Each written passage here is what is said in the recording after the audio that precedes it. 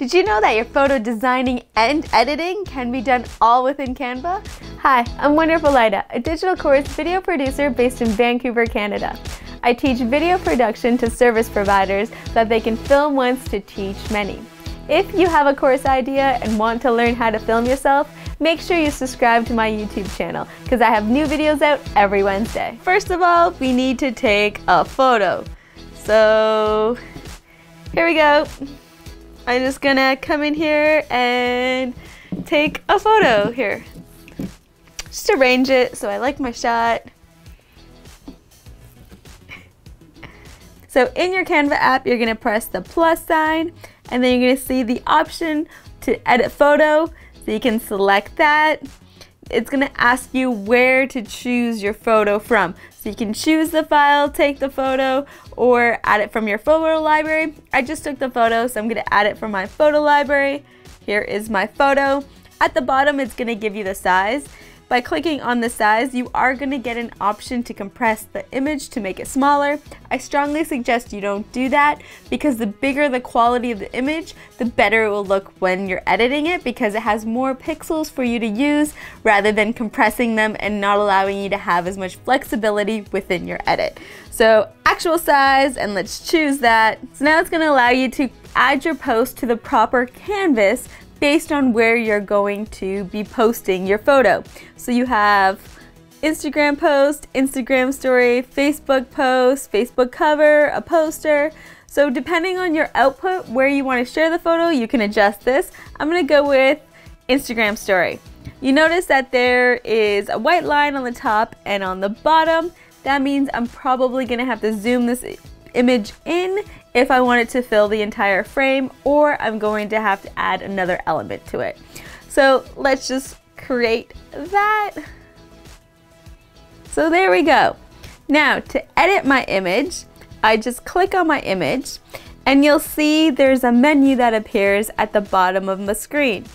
This is going to allow me to edit the image itself. There's many options. The ones I want to give a focus to is effects, Effects allows you to do different effects on the image and Canva is constantly updating these. So you can see I can face retouch. So if I select this, I select auto, it's automatically going to retouch my face. It's gonna look a little blurry at first. If you press done, then you can see what it's going to look like. So it automatically retouched everything. So you can see instantly I have great skin. It also allows you to play with the focus. This doesn't work as well. It works good if you're separated from the background. So you can see I can change the blur intensity. And then I can change the position of the blur. So basically it does the blur based on the distance. So if I want to stand up for my background, this is a great effect. Gonna go done. I'm going to go back. So if you did something and you don't like the effect of it, you can press the back button to undo. I'm just gonna undo that. And I'm also going to show you background remover. So if I select this, just have to wait a second for it to process. And then you see it's going to remove that background for me. Unfortunately, when you use the background remover on your phone, it's not going to let you fine tune it as much as it would on a computer. So let's restore that, bring my background back in, and let's look at how else we can edit the photo. So let's go over to filters. Here, these are just generic filters that I can add and they give a different effect, each of them. And then I can also adjust the intensity of them and so I can increase them or decrease them. This is kind of tricky because it's hard to find an effect that's going to look good with your image. It can create an effect on multiple images, but there's another way to edit photos. I'm gonna show you the best way, which is next. So let's back out of that. Back, back, back. There we go. So we're out of there. Let's click on that image again. And then at the bottom, you're gonna see adjust. Here you're able to adjust all these qualities within your images. So you have brightness, you can increase your contrast, so your contrast is your darks. You can increase your saturation, so it just makes all the colors pop more.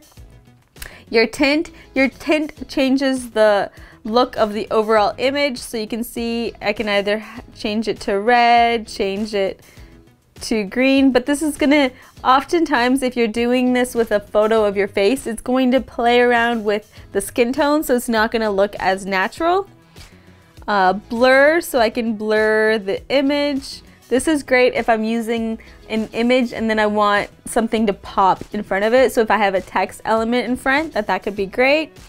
Uh, Vignette is going to add this blackness around um, the outside of my photo. This was very popular with film. Warmth is just gonna add either blue or yellow to my image. So if I go to the positives, it's gonna make it yellow.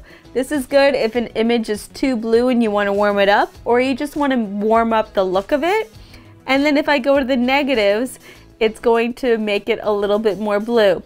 This is great for if you took a photo inside using yellow lights and you want it to look, have more of an outdoor look to it, you can just make it a little bit cooler. Clarity. Clarity is going to make your lines pop more. This is kind of like a cartoon effect if you go overboard with it. I suggest not adding too much clarity. A tad bit is good. Vibrance is making the midtones, so not the highlights or the lowlights, but the midtones within your image brighter so you can see it adds a saturation, like an increase of saturation, but in a nice way. And then highlights. So highlights are anything that's light in your image. So you can increase your highlights, so make all the bright spots brighter, or you can decrease your highlights by making the bright spots darker. A great example of when you would need to decrease your highlights is if your sky is overexposed and you want to try to add some highlights back into your sky. Shadows is the same thing, but it does it for the dark parts in your image. So you can see if I increase it, you can see like my shirt and inside my hair, it gets a little bit lighter. And then if I decrease it, it adds contrast and it makes the dark parts even darker. And then fade is just going to make it fade and look more film-like. So if you want your image to look more film-like and just to fade and not be as prominent in your design, then that is great. And then that is how you can adjust it. So once you adjust it, say if I'm creating this as a story, I can change the sizing of mine. I can fill the frame with the image, but you see as I film the frame with my image, it is going to crop in the image a little bit more. So say I don't want to crop this image, I don't want to zoom in in it, I want to use this image like this, but I want it as a story. So you do see the white. What I suggest you do is you click on that white and then click on color, pick the color that you want to change, and then that way it still stays on brand. Once you're done editing your photo and you like it, all you do is click the save button on the top and it's going to save your design for you in your camera roll. If you're interested in trying Canva Pro, please use my code in the description. It's gonna help you and me at the same time. I hope that you enjoyed this video. If you did, please give it a thumbs up or better yet, leave me a comment below. I have new videos out each and every Wednesday. Until next time, peace!